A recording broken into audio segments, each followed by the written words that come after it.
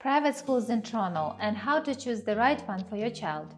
I'm going to share my thoughts and my own experience to help you in the process of deciding whether private schooling is right for your child, and if yes, what school will maximize your kid's potential.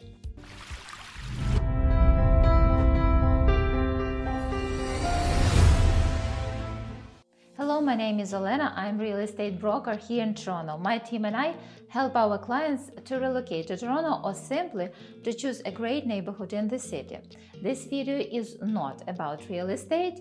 It is about your consideration as a parent for your child to join a private school environment with certain values which may or may not meet your expectations. But before I begin, for those of you who are visiting my channel for the first time, please subscribe and hit that bell button to be notified every time I post a new video about living in Toronto as well as its real estate.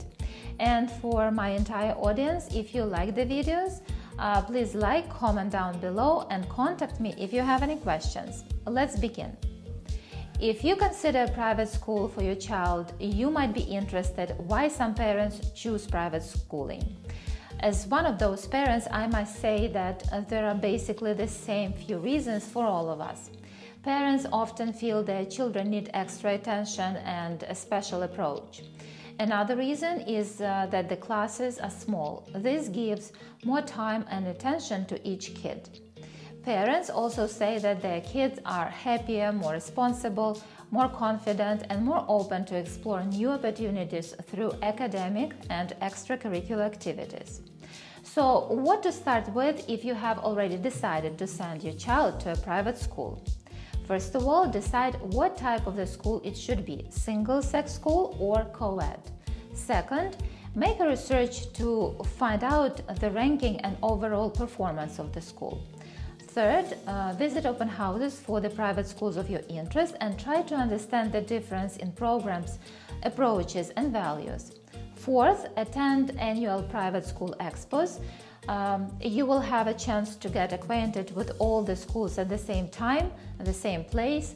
School representatives uh, will be happy to answer all your questions, and you will also receive their introductory packages. Fifth, ask parents of the private schoolers for their honest opinion and feedback. Sixth and lastly, check the geographical location of the school of your choice and estimate your commute in the mornings and in the afternoons uh, during rush hours. You might see a lot of reasons to move closer to the school of your choice. While finding the right house is all about location, location, and location.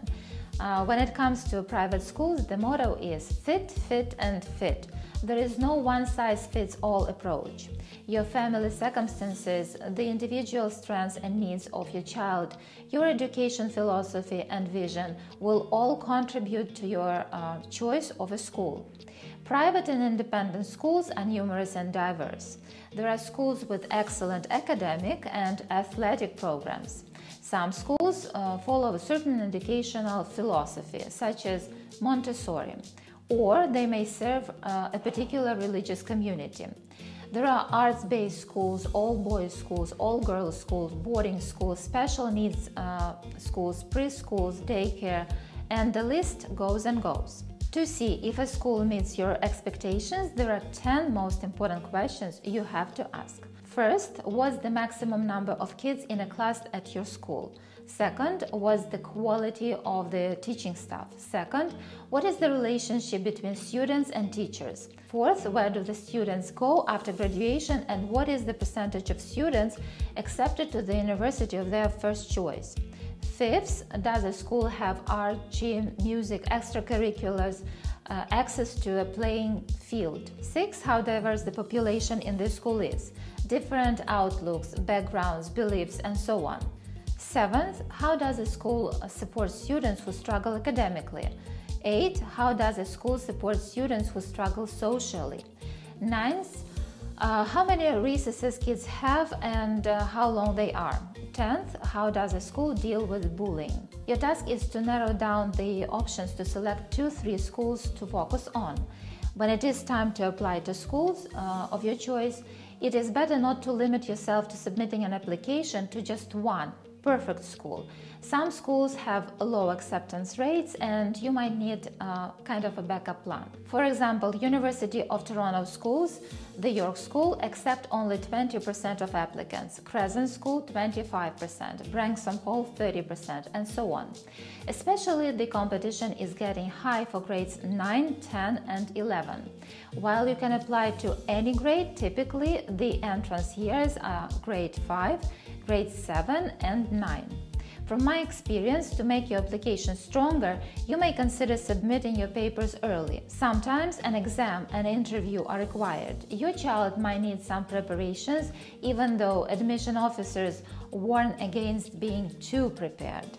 I also advise to be honest and clear about your child's needs. The schools are interested in appropriate fit for your kids as much as you are. They would like to understand if a kid really wants to be in this environment or it's just a parent's wish, how active a child can be in this community, and what your child's strengths and challenges are.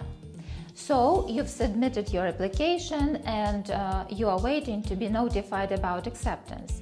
Still, there are a few points that every parent should keep in mind. First, there is likely more than one school at which your child would, would succeed and prosper. Don't be overly disappointed if your child doesn't gain admission to one particular school. Second, don't be crushed on less than stellar entrance exam results. Most schools will consider more than just test scores. Third, share true information with the school. The goal is to ensure your kids' needs uh, are well accommodated. Once you have accepted a school, have confidence in your choice. Make the most of the fact that your family is now a part of a unique school environment. Typically, parents are very engaged in everyday life and have lots of meetings, events, and conversations uh, going on. I hope I was able to share some insights about choosing a private school in Toronto. These thoughts are based on my own experience as a parent of three kids who went through different systems of education in Canada. I would like to remind you here that choosing a school often results in buying a new home. Uh, I would like to offer my clients both my experience with schools and my professional knowledge of Toronto real estate market. Don't hesitate to reach out, contact us by calling, texting, emailing, or even commenting down below. We are actively using WhatsApp, Viber, and WeChat for your convenience. Also, I would like to remind you to subscribe to my YouTube channel and to hit that bell button to be notified every time I post a new video about living in Toronto as well as its real estate. Please comment down below um, so I know your questions and if you are thinking of moving to Toronto or simply relocate to a great neighborhood, I will be happy to help. Thank you for watching and I will see you in my next videos.